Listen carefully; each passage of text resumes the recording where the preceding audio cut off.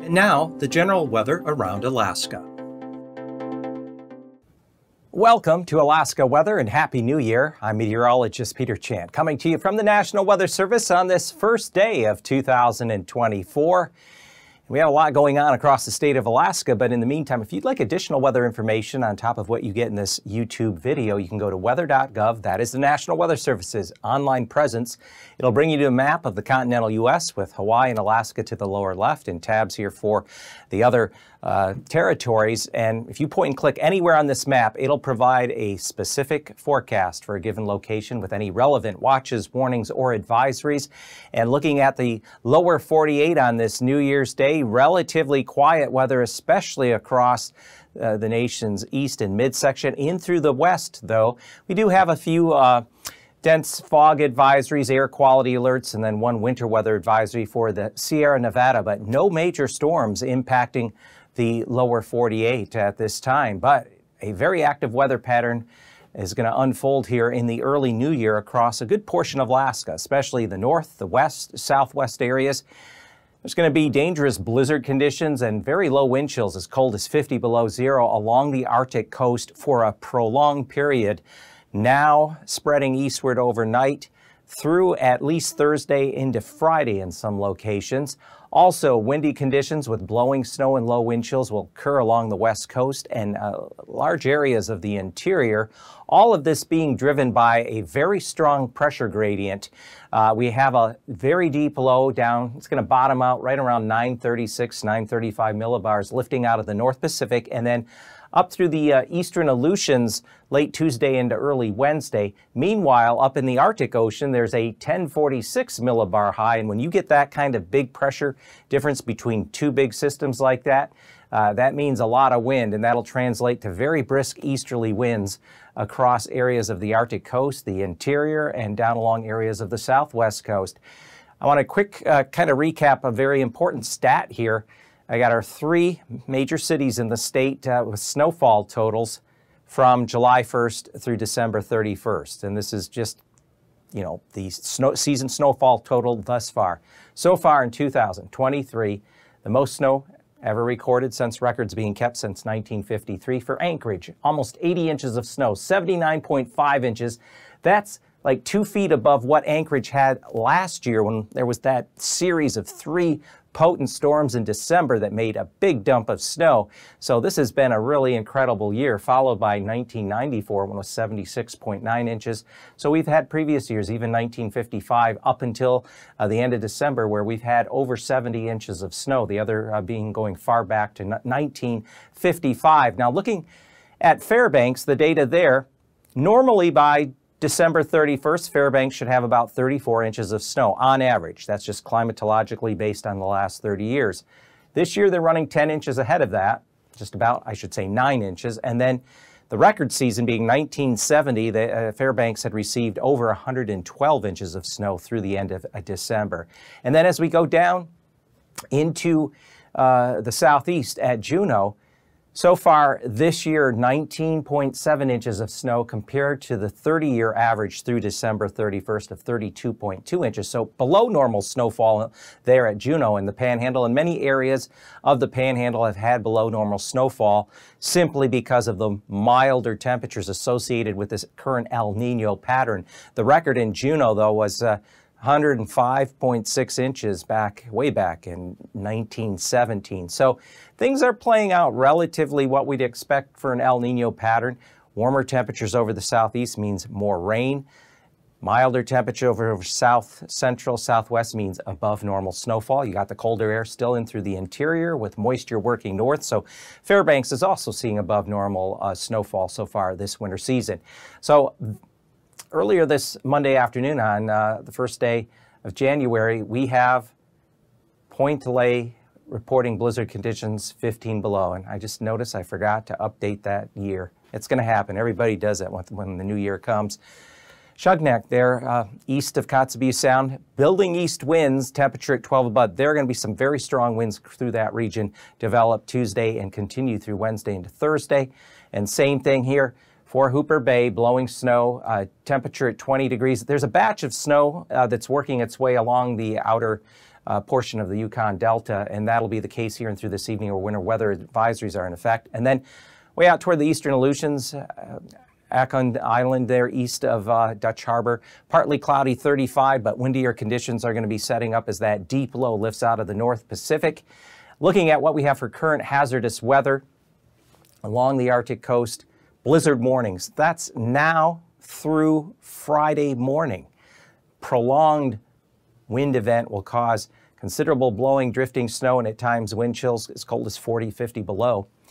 Then we have, with the winds increasing across the interior, winter storm warning for considerable blowing snow uh, in the area northwest of Fairbanks as you go up uh, the lower Dalton Highway. Also north and northeast of Fairbanks, winter weather advisories for blowing snow. Very strong winds here between uh, the Brooks Range and Alaska Range will set up across the Yukon Valley and then come up along the west coast. These areas that are yellow are still in a winter storm watch for blowing snow and strong winds that are likely develop Tuesday and, and continue into Wednesday and Thursday. Those will likely be upgraded probably in the forecast package that'll be issued overnight early on Tuesday morning. Then we have winter weather advisories here, lower Yukon Delta, Nunivak Island, Etolin, Strait up to St. Lawrence for a batch of snow now that continues to work its way uh, west northwestward and just brushing the outer southwest coast. This area here around Bristol Bay, that is a high wind watch for later Tuesday into Wednesday morning because a very deep low is going to come up out of the North Pacific. It's slowed down. I've been talking about this now for a long time. That low is slowed down, so it's not going to come in as fast as it was looking by maybe off by a day. So as a result, uh, it's it's going to allow for these conditions to hold off a little longer. But the central Aleutians, including Adak, we'll see heavy snow and very strong winds with near blizzard conditions possible, especially as that wave of precipitation lifts northward later tonight and especially during the day on Tuesday into early Wednesday. So a lot going on across the state. Here's another neat image from forecast office up in Fairbanks showing here's the Arctic coast, Utqiagvik, going Wainwright down to uh, Point Lay. Satellite imagery shows cracks in the ice developing along the Beaufort and Chukchi Seas.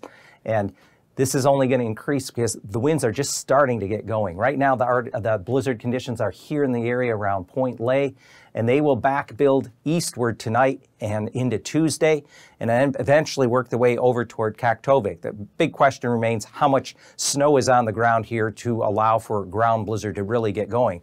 One reason the ground blizzard conditions are worse here on this northwestern slope is because we have the snow being blown off of the mainland that's accumulated here along that area of the north slope. But again, these ice cracks opening up, very dangerous conditions with the ice shifting with the strong winds and also the bitter cold and reduced visibilities with dangerous wind chill, uh, it makes travel impossible and extremely dangerous. So exercise caution. It's going to be a prolonged event for at least the next three, four days. And looking here at the satellite imagery, we have one low here that's going to gradually weaken. And the main low that we're watching is down here. It's just starting to show up in the North Pacific. And then we have a big high just up here, the top of the screen, out over the Arctic Ocean. And as we go through uh, the map uh, starting with this afternoon. Here's a low that sits down there right now. That's not the main one we're concerned about. And the big high is way up here, Arctic Ocean. There's the low coming up out of the North Pacific by late tonight, early on Tuesday morning, we'll have a 940 low that's going to further deepen as it lifts slowly northward. The other low begins to fill and weaken with a trough out across the lower Gulf. And then this is the little trough that's responsible for the snow that's falling this New Year's Day along the lower Yukon Delta, Etolin Strait, uh, Nunivak Island up to St. Uh, uh, Lawrence Island. That will continue drifting its way northwestward. So by Tuesday afternoon, we have a low down around 935 millibars here just south of the uh, eastern Aleutians with a occluded front wrapped around it. And it's along this front as it works northeastward slowly. We'll see some very strong winds here across the Alaska Peninsula and up along the Bristol Bay coast and up in the lower uh, arm here of the Alaska Range. Uh, a lot of wind shear, a lot of strong gusty winds. By Wednesday afternoon, that low just slowly lifts up across the eastern Aleutians near Dutch Harbor and just be up in the lower Bering Sea, west southwest of Bristol Bay. The front around it will begin to weaken, but the front will continue working its way eastward into the Gulf, pushing precipitation and gusty winds along the Gulf Coast in through the panhandle. Meanwhile, in the interior, see this these tight pressure gradient because the high that was up in the Arctic Ocean is going to slip southeastward, build southeastward into northwest, north central Canada. That makes for very strong um, winds across areas of the interior through some of the gaps. If the winds are a little more south southeasterly, then it pours through sections of the Alaska range. So as that low does take that position, I think some of the gaps, you'll see additional high wind warnings and wind advisories coming up here for the interior through the midweek period. But on Tuesday morning, we expect lows outer panhandle coastline to be above freezing, mid upper 30s, below freezing, Juneau on up toward Haines, Skagway, 23 below, easily in the Copper River Basin where the cold air pools. Temperatures Tuesday afternoon should at least get back up into the 20s, much warmer than it was. We had temperatures uh, early in the weekend that were close to 30 below at Talkeetna, 35, 36 below there at uh, Gulkana, so it's definitely an improvement. Then along areas of the outer panhandle coastline, you got Ketchikan on up toward uh, Sitka, 44 degrees or so. Uh, we see temperatures Middleton Island down toward Kodiak around or just above 40.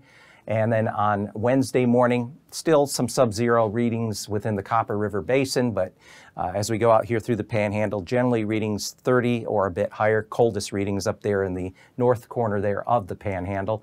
And then temperatures should moderate uh, as that front gradually tries to push a little further north. We could get temperatures back up to around freezing Anchorage Bowl by Wednesday afternoon, and certainly areas further south and west could be up around or just above 40, Homer down to to Kodiak City. Now, the interior, we have plenty of cold air, sub-zero readings this uh, uh come Tuesday morning for lows. Some areas could be uh, near 30 below, uh, say Arctic Village down toward Northway. But along the west coast, temperatures actually bump up a bit. You're getting downslope flow with those strong east winds. The east winds keeps the air mixed. So we expect lows in the teens. And then temperatures Tuesday afternoon, Sub-zero along the Alcan border areas of the Brooks Range uh, along the eastern Arctic coast, but some 20s, lower 20s possible around Norton Sound, west side of the Seward Peninsula. And again, Wednesday morning, coldest temperatures will be in the eastern part of the state along the Alcan border. Readings could still be down around 25 below or so. Single digits above zero along the western coast and teens as you get around Norton Sound. And then temperatures Wednesday afternoon still below zero in through the northeast, Yukon Flats down toward Northway. But as you go east, again, we expect teens to a few lower 20s, especially Nome down, say, to um. And then going along the southwest areas, Tuesday morning, still sub-zero around uh, McGrath, northward up the Yukon Valley. And then as we look at the uh, Alaska Peninsula and along the Aleutians, temperatures above freezing. Tuesday afternoon highs, we could see some lower 40s along the Alaska Peninsula, near 40 at Dutch Harbor. And then Wednesday morning, we expect temperatures to, in a few areas, be down near the freezing mark, uh, moderating along the southwest coast into the 20s. And then uh, afternoon highs by Wednesday afternoon will be uh, a bit above freezing up to Bethel certainly well above freezing, or I should say at least mid upper 30s, near 40 here as you go king salmon down along the Alaska Peninsula, all, all the way down again toward Dutch Harbor. And here's what we've been kind of seeing this pattern. Now keep in mind it's January, the 6 to 10 day temperature outlook, January 7th through the 11th. Above normal temperatures across much of the mainland, centered on the lower middle Yukon Valley, the west side of the state. Meanwhile, temperatures are expected to average near normal across the panhandle. And what does that mean? Well, we're getting some sort of southwesterly flow coming in off the Bering, off of the off of the uh, North Pacific, and guess what that means? Above normal precipitation. And because we're entering midwinter, still cold enough across the interior in these areas for the precipitation to remain all snow. So this could mean some additional notable snowfall coming up here as we head up uh, between next weekend and uh, through mid-month. So keep that in mind. Uh, be under the gun. It'll be interesting to see how the moisture transport uh, evolves with the different uh, low pressure systems and fronts that are going to be working their way up into the southwest mainland as we get past the first uh, several days of January. So once again, Happy New Year to everyone. Have a safe one and uh, enjoy it because we are heading definitely back into the light now.